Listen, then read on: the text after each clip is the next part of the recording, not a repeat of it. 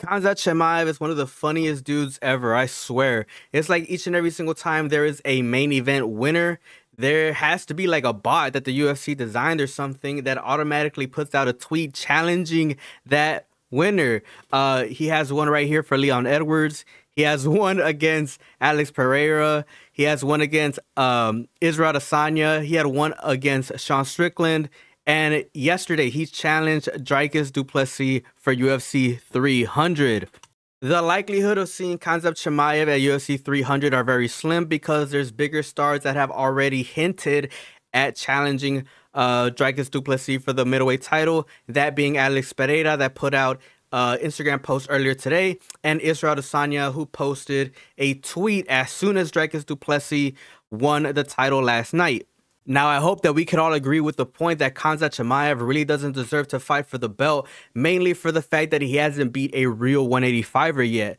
Um, he fought Kamaru Usman at middleweight, but honestly, is not enough for him to be proven at that weight class. In my opinion, he needs to fight somebody ranked, maybe have a couple fights at in the middleweight division, and then probably challenge for the title.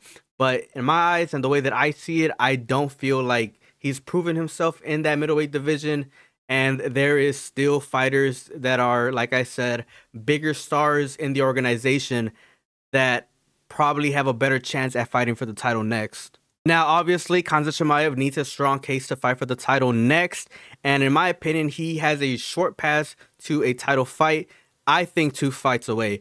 But those two fights probably that are going to lead him to the title fight need to be uh, very specific fighters. Now, I feel like Khamzat Chimaev needs to fight another fighter who has very strong trajectory towards fighting for the title in the next couple years, and that's probably someone like Brendan Allen. I feel like if Chimaev beats someone that's right out of the top five, who has been proven to be a very, very good fighter like Brendan Allen, then I think that that would make a great case for him to fight somebody in the top five, whether that be Paulo Costa, Marvin Vettori, or Jared Cannonier. If he has a successful uh, fight against uh, somebody in the top five, like the names that I just mentioned, then he would have a very strong case for challenging for the title next.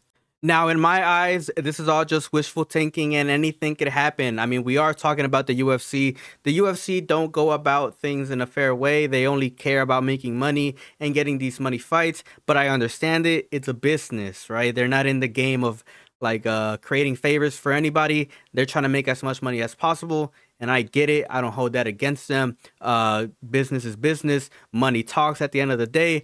But let me know what you guys think down in the comment section below. Do you guys think that Khamzat Chimaev has a real chance at potentially fighting for the title next? I don't think so, but let me know your thoughts down in the comment section below.